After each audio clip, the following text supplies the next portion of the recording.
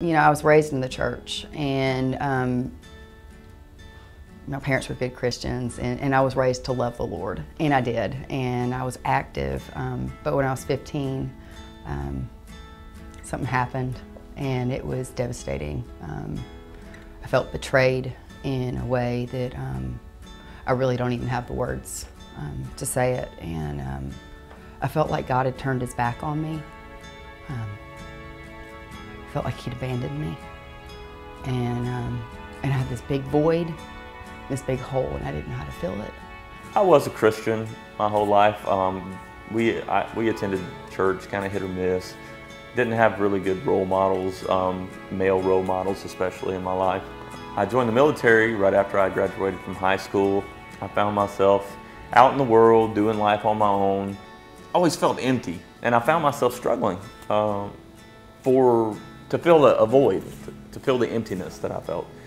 So I bought cars, I bought lots of motorcycles. I went, had different jobs and, and just never found what I was looking for. I found myself turning to alcohol to kind of fill that hole. And um, the alcohol then lended itself to drugs. And um, I found myself in just this out of control spiral. Um, and drugs and alcohol were my God. And that's what I live for. I started dabbling in drugs. I um, eventually ended up being hooked on methamphetamine. I, that was my vice. I went from a casual user to someone who was using it every day. It got to the point where I had given up every single moral that I had, um, every principle I'd, I'd I lost myself somewhere along the way and um, I didn't know how to get back to me. And I'd wake up in the morning and I'd be so disappointed that I woke up because I just wanted to die. I found myself at the bottom of the barrel, wondering what I was going to do, losing my house, had no job at the point in time because I couldn't function. I couldn't hold a job because of my addiction. I considered suicide. I considered ending it all. In this moment, this moment of just true despair, I just called out and I just said, help me. And, um, and something changed. Something changed and, and I began this, this journey to recovery. Um, to, to get rid of the drugs and the alcohol in my life that were controlling me. And, um, you know, I know that that was God. I was going to either end it all or I was going to give my life to Christ. I chose to do things God's way. I chose to give my, give my life to Christ.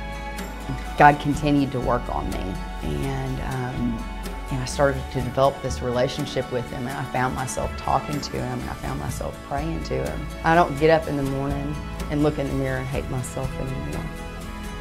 I don't hate me anymore. I wake up in the morning and I'm happy to be alive. Um, I'm living today. Before I was just existing. Before God was in my heart, I was just existing. They say that you have um, a feeling you know, of being a completely changed and different person when the Holy Spirit fills you. And that's the way my life has been. It's, I'm a completely different person. I have a hard time even looking back and figuring who that person even was because I'm so different at this, at this time. I'm truly free today.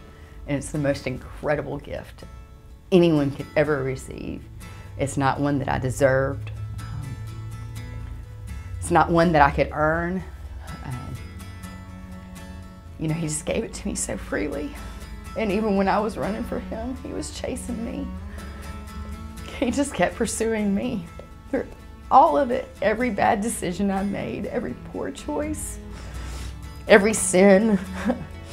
he just kept calling for me.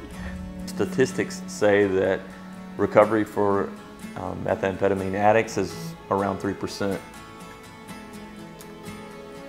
In my mind, those 3% are the people who did it through Christ. Because I don't feel that there's any other way.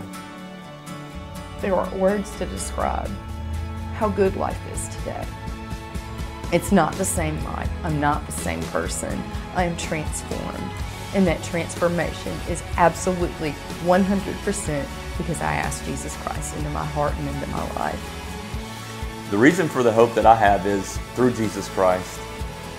I wouldn't be alive today or be able to tell you this story without being saved and without committing my life to Christ. The reason for the hope that I have is today I get to live. I get to live a life with Jesus at the center of it, not with drugs and alcohol at the center. I have hope today because Christ is the center of my life. Christ is the center of my family. Christ is the center of everything I do. And with Him, it doesn't matter what life throws at me, I have hope.